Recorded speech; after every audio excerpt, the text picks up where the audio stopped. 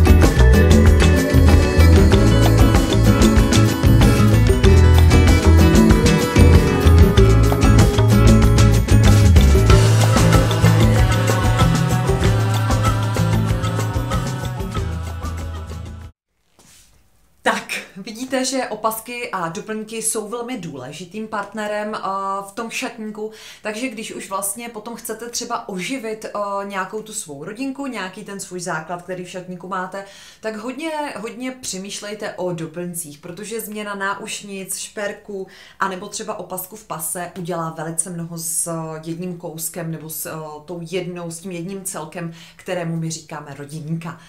A já za mnou už vidíte, že, že tam jsou uh, nové kousky značky Monary. My jsme velmi rádi, uh, že vám můžeme představit uh, tuto kolekci. Ale proč ji tady mám? Určitě jste si všimli, že některé z těch kousků, které jsou za mnou, už jste viděli. Je to tak. Já bych ráda podotkla, že Monary je skvělé právě v tom, že Jednotlivé roky, sezóny se takzvaně překrývají a vzájemně doplňují. Takže vy si tady koupíte rodinku v zelené, a pak záhy uvidíte, že si můžete koupit rodinku i v béžové a pak ji navzájem takhle prokombinovat. A vzniká vám harmonie v tom šatníku. Důležité, už jsem to opakovala minule, ale důležité je dát uh, velký pozor na ty doplňky. Ve chvíli, kdy třeba my k tomu máme doplňky, neváhejte si je pořídit uh, teď a tady, protože často se mi stává, že přijdete třeba za rok a ono už prostě je to dál zase ta móda a jsou jiné odstíny, jiné barvy a už to prostě není tak jednoduché vám to dopasovat. Samozřejmě umíme kde co, ale je to složitější jak pro vás časově, tak pro nás, co se týká kombinací a hledání. A my jsme takový blázinci, že když k nám donesete jakoukoliv věc, tak vám vlastně doladíme k tomu různé outfity, abyste ji mohli nosit pokud je to třeba váš oblíbený kousek. Takže nebojte se, o, prostě věc, která třeba je vám přirostla k srdci, neumíte si s ní doma poradit, tak ji prostě doneste a my vám k tomu dokombinujeme. Je to mnohem lepší, než když o, přijdete a řeknete, já mám doma takovou sukni, víte, mm, no ona je do pasu, o, taková rozšířená, dlouhá, Nakonec uh, zjistíme, že dlouhá u nás znamená až na zem, uh, u vás to znamená midi délka, takže je lepší rovnou zabalit a říct k tomuhle prostě na sebe chci tento kousek. Bohužel vy, co jste takto daleko, tak uh, si leda tak udělat uh, nějakou dovolenou, protože my skutečně umíme takto pracovat, uh, ale na dálku to nejde, naše kapacity k tomu skutečně jakoby nestačí. Ale pojďme teď na novou kolekci za mnou, protože je jak jinak než nádherná. Uh, a než s ní začneme, tak bych byla ráda, kdyby jsme pochopili uh, rozdíl mezi studenou béžovou a teplou béžovou. Tak jdeme na to.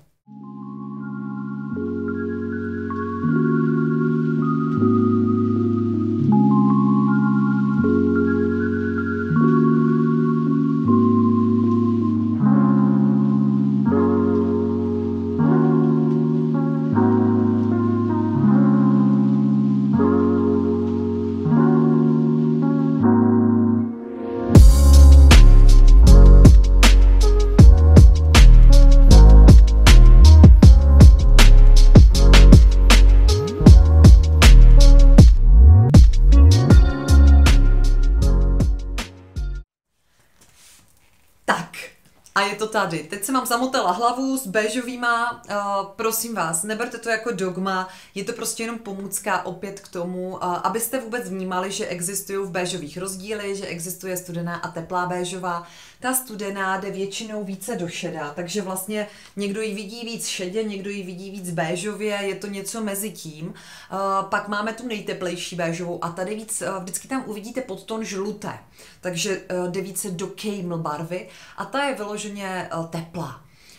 Proč to vědět, k čemu to je? Uh, jsou ženy, které zvládají tu béžovou jako celek a sluším téměř všechny odstíny. Samozřejmě některé víc, některé méně. Čím blíž uh, ty odstíny máte u obličeje, tím je to horší, když si zvolíte třeba špatný odstín.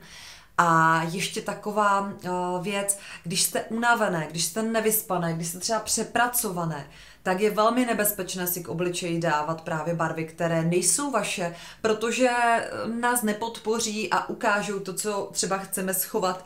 Takže se vám může stát, že vám třeba řekne někdo, že se necítíte dobře, Uh, právě proto, že jste si zvolili špatný odstín. Takže pokud máte u obličeje uh, vlastně ten svůj odstín, tak on vás naopak podporuje. Je to jednoduché. Když si vyzkoušíte v obchodě teplou a studenou, teď už víte, jak ji rozeznat, tak uvidíte, která vám lichotí víc. Je to, je to tak snadné. A té se potom více či méně držím. Za mnou je plejáda barev, která je ve studených odstínech. Ta zelená, kterou znáte vlastně z dílu, který se vám tak líbil o těch rodinkách, tak je vyloženě studeným odstínem a právě proto ji Monary doplnilo touto barvou. Je to šedobéžová barva, která třeba zrovna v tomto světříku ještě zapletená stříbrná lurexová nitka, tím pádem ještě podporuje uh, tu studenost, protože stříbro jako takové patří mezi studené kovy. No, uh, co vám budu povídat o tomto svetříku, uvidíte za chvilku na videu, je luxusní dokonalý uh, právě přes všechny šaty, cokoliv, co, eh, co vlastně eh, máte tílečka doma, eh, košile, dá se to různě vrstvit, je to prostě kousek, který je top, top, top z této kolekce.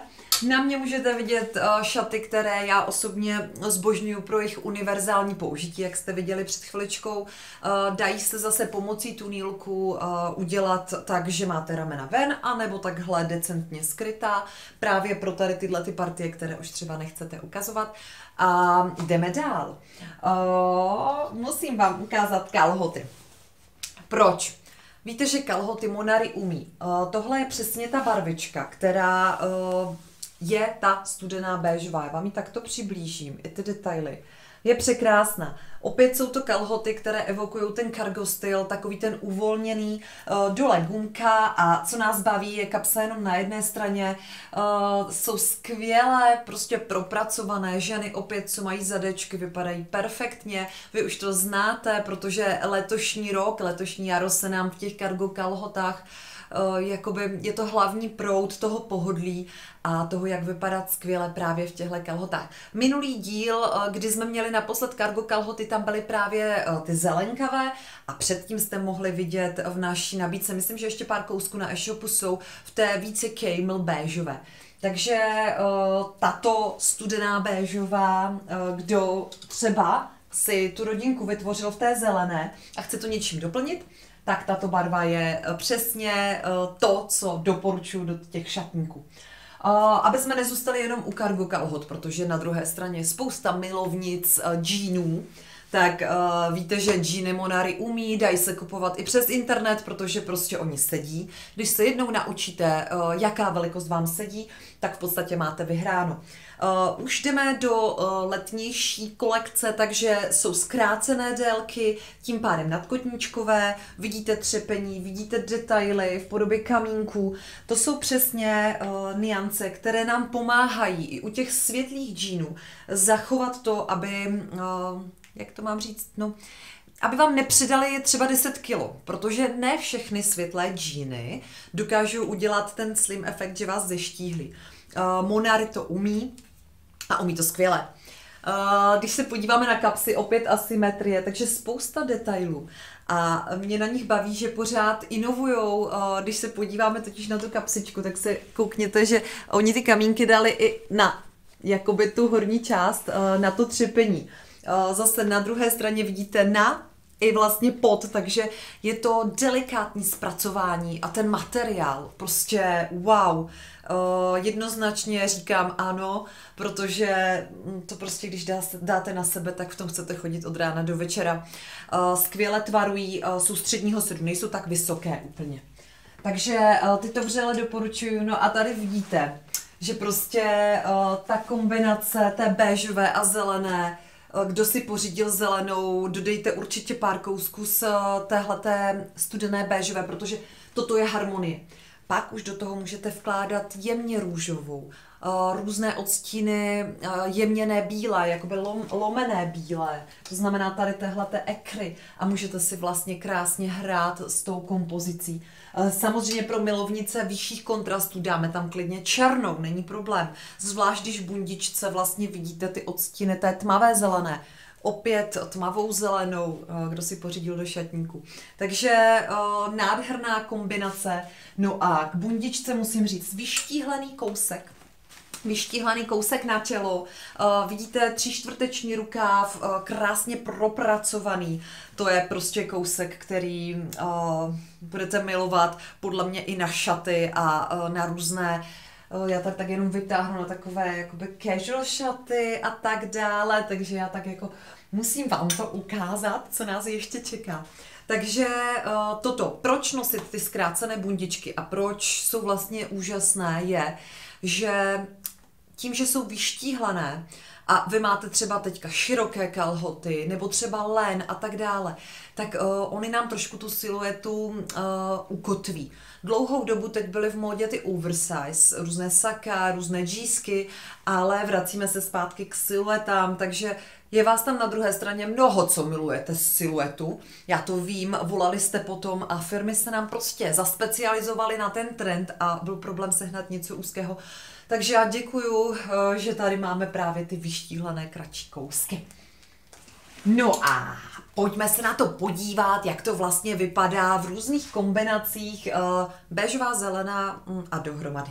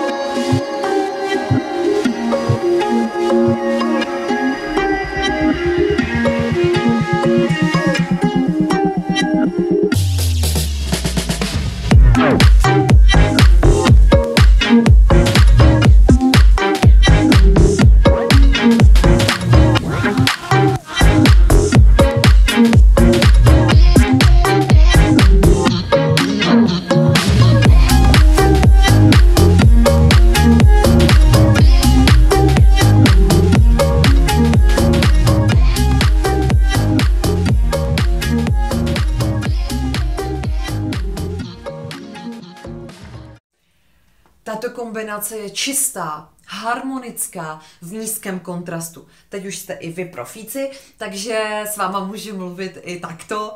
Věřím, že ti, co nás sledují už dlouho, tak vlastně kontrasty už mají v malíku a vědí, co to je. Uh, toto je nízký kontrast, i když se podíváte na ten panel, všechno je to takové tón do tónu a bude to velice harmonická kombinace pro někoho, kdo nemá právě rád ty výraznější kontrasty. Když vezmu tričko, které je geniální teď v tuto chvíli, ukážu vám, které všechny barvy a jaké vlastně odstíny se hodí k této paletě. Já si pomůžu tričkem Monary, chviličku vás nechám nacítit ty barvičky. A tady vidíte, jaké všechny barvy se hodí k té studené béžové, k té studené o, zelené. Jsou to barvy, které o, jsou takové jakoby blaš, za, zaprášené. O, když o, bych chtěla nějakou barvu, na rozsvícení, ale pořád bych chtěla jet v takovém tom nižším kontrastu, tak si zvolím třeba tuto. Tato barva, vlastně bunt značka ji říká grapefruit. Mně přijde úplně úžasná, protože já vám řeknu, že málo komu tato barva nesluší. A když jsem byla uh, na barevné typologii u, u své, doufám, že můžu říct své přítelkyně v tuto chvíli, Vlastě Neuwirtové, tak uh, ta říkala, že tato sliznicová barva uh, je barva, která sluší téměř každému. Uh, milujeme ji, protože je jemná, ale zároveň není úplně zaprášená. Takže kdo se necítí ve vrchních dílech tohoto typu, mimochodem to jsme si ještě ani neukázali, Uh, tak uh, vlastně zvolte spíše tuhle tu barvičku nahoru a klidně spodní díl může zůstat v té studené péšové. A tady vidíte, jak už se to krásně kombinuje, takže uh, Monari má vždycky perfektně doladěné kolekce. A musím říct, že my vždycky k tomu dodáme ještě něco jiného, protože uh, chceme, abyste uh, v těch šatnících to měli skvěle propojené. A když budu mít tyhle cargo kalhoty, chci si je vzít třeba do práce, tak zvolím uh, svetřík, džínovou bundičku, uh, nebo třeba svetřík, který je tady za mnou, takže z toho uděláme takový outfit jakoby uh, noblesnější, přesto pohodlný. Ale když pak budu chtít ráno vyběhnout se psem a chci vypadat skvěle, nahodím mikinu a jdu. Jo, takže vidíte, že, že těch variant, které pro vás vymýšlíme, je spousta tak, aby to pro vás v tom šatníku bylo co nejkomfortnější. Další barvičkou, která uh, se sem skvěle hodí, je právě tato žlutá. Uh, zase bunt uh, název banánová, nám přijde skvostná, protože je ne tak ostrá žlutá. Někdy ty žluté jsou příliš ostré a ženy se v nich necítí. No tato je mňam. A opět, kdo vlastní kalhoty třeba v zeleném odstínu, mimochodem tyhle sedí perfektně, tak zase s tou žlutou to bude takové svěží, ta kombinace hravé. A co dáte za tričko, těch možností je XY od právě triček, které jsou takového hravějšího charakteru, ze skvělých materiálů a nebo samozřejmě opět se obrátím tady na druhou stranu, kdy tato kombinace je top top. Takže uh, to je ke kombinování, abyste se nebáli, abyste uh, po té, co jsme si řekli o rodinkách, tak abyste trošičku ten okruh začali rozšiřovat. Vždycky je dobré si uh, se naučit nějaký základ a pak uvidíte, jak jednoduché a snadné to je. Já se vrátím ještě k tahle bundičce, protože je nádherná.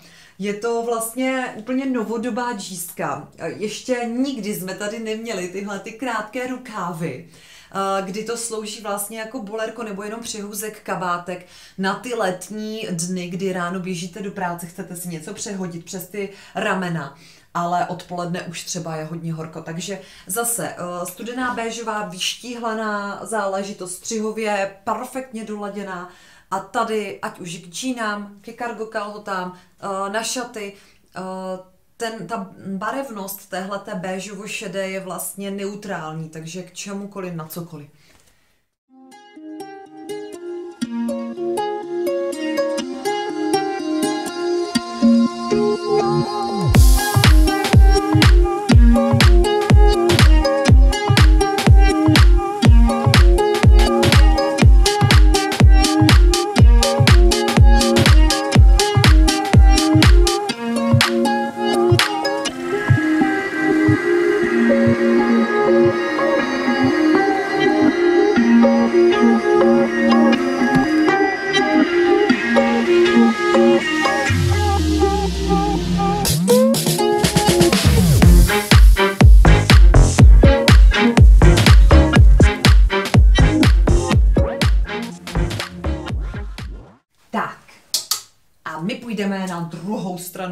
Tady máme také kousky, které stojí za vidění.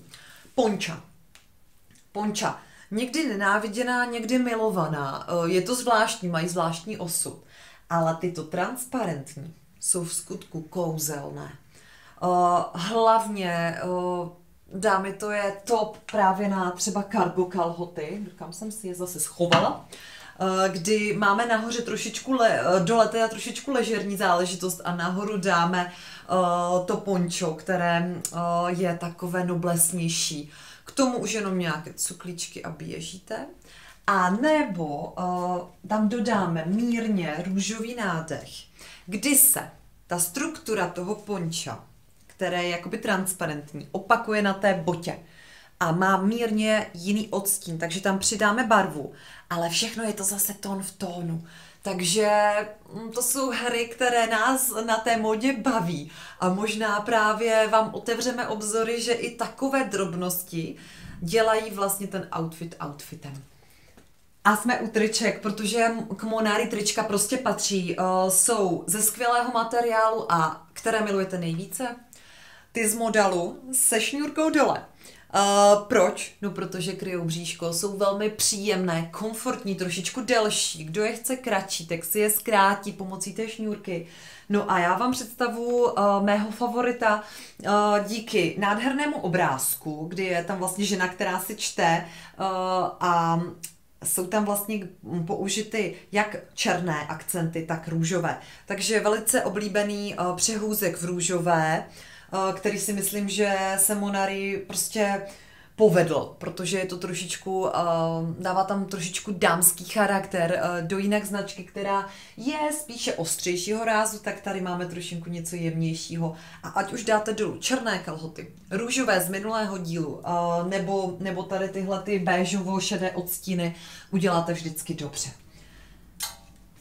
Podíváme se ještě na trička, protože trička uh, u Monary zbožňujete, zvlášť tady tyto, proto je musím ukázat. Uh, béžová, zelená, je to o vás. Uh, co na nich milujeme je materiál, v kterém byste chtěla být od rána do večera. Uh, dole tunílek, to znamená stahování, milujete ho všechny. Proč? No protože když máme nějakou nedokonalost v oblasti bříška, nebo se chceme cítit komfortně a nehlídat se, no tak si prostě pořídíme skvělé tričko, Uh, grafika, která je eh, ze zajímavých uh, niancí, jako je lesk, kamínky, tak nám trošičku rozdrastruje pozornost, takže vypadá dobře i do větších velikostí, ale vlastně tady velikost vůbec nehraje žádnou roli. Jak vidíte za mnou, tak celou kolekcí se dá kombinovat tento nádherný svetřík. Já vám povím, že měkčí materiál jsem dlouho neměla v ruce. Vy to víte, ty z vás, které ho mají doma.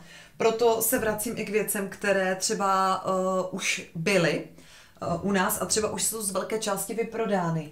Ale mně jde o to, abyste ty, co ho máte, uh, tak uměli kombinovat. A tady vidíte, že k čemukoliv z té kolekce ho přiložím, tak to prostě vypadá perfektně. Takže tyto, no a moje oblíbené džíny. Džíny, tyhle sedí tak báječně a mají tak překrásnou barvu, Eh, že eh, jsem vám je tady musela ještě znovu zařadit. A proč zrovna k téhleté kolekci? Protože když se podíváme, tak opět ty barvičky k sobě náramně jdou. To znamená, když vezmu tyto džíny a přiložím k tomu třeba tuhle báčnou mikinu, tak opět ty barvy budou vypadat skvěle už vám ukazuju trošičku uh, hru s tím, jak si ty rodinky potom doplnit o nějaké barvy, protože někoho mohlo vystrašit, že si musí kupovat jakoby celky uh, a mohlo mu přijít, že to není až tak kreativní. Takže když už tu rodinku potom uh, nějakou mám, tak se vůbec nebojte do toho šatníku přiřadit bledě modré džíny a k tomu dát vlastně mikinu. A řeknu vám eh, minulý díl a největší úspěch zaznamenali uh, světle modré kalhoty. Ten střih je geniální, já se vůbec nedivím, že se vám tak uh, hodně líbily, já jsem se v nich cítila skvěle. A proč se tady k tomu vracím? Protože tady mám sestřičku, Atelier Garder, výborný materiál. Dámy, to prostě chcete nosit. Já si za těmi materiály stojím, protože to je to, co... Uh, milujeme na těch věcech. Nejenom, že krásně vypadají, uh, sedí výborně, tak uh, jsou ze skvělých materiálů.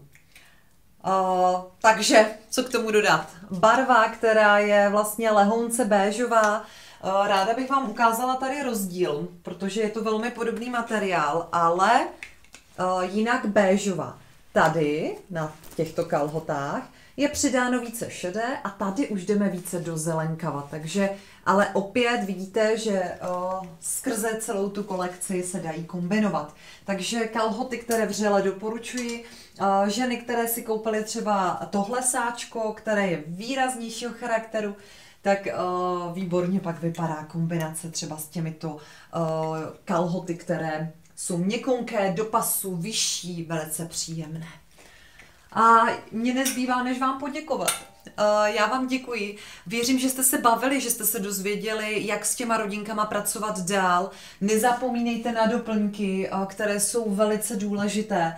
A, uh, a vlastně zkuste si ten šatník skutečně na ten koberec vyndat a poskládat, jak byste ho viděli, jak byste ho chtěli nosit. Doporučuji si udělat fotky. Proč fotky? Vy to v tu chvíli víte ale za dva, tři dny eh, v tom třeba presu, stresu, eh, pak řeknete, jak to vlastně bylo.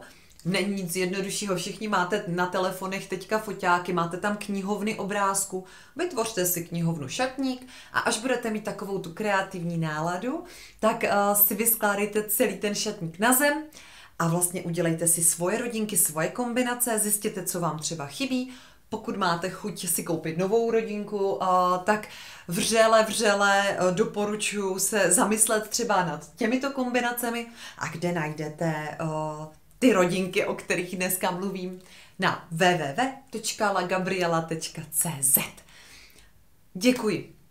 Děkuji, že k nám chodíte do obchudku. Děkuji, že nakupujete stále na e-shopu, což mě velmi těší, že jste si nás prostě vybrali, že, že nás máte rádi. My jsme za to neskonale vděční a děláme to s radostí, s láskou.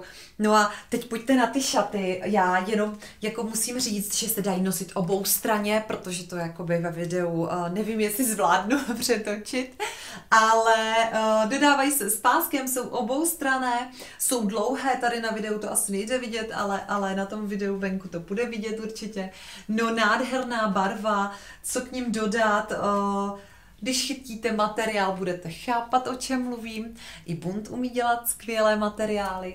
A já vám řeknu, že tyhle šaty uh, se chystají i v jiných barvičkách. Uh, prosím vás, nebudou to pestré. Bude to černá, tmavě modrá, béžová a tak. Ne, nebudou to moc výrazné barvy. Takže ty z vás, které mají rády barvičky, tak si pořiďte tyto. Uh, nevím totiž, uh, kolik látek tam ještě zbývá, protože jsou velmi, velmi oblíbené.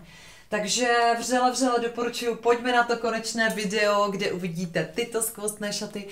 A já se na vás těším příští čtvrtek opět tady na YouTube La Gabriela. Mějte se krásně.